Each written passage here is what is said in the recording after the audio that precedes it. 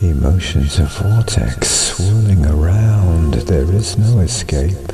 Before we each drown, pulled by its power, drawn by its force, resistance is futile, accepting of course when we let go. And as we relax, the rhythm of breathing fills all the cracks, more than just feeling turmoil and pain. There's warm and appealing, transcendent rain, bright intuition, mind to mind thought, awake while still dreaming.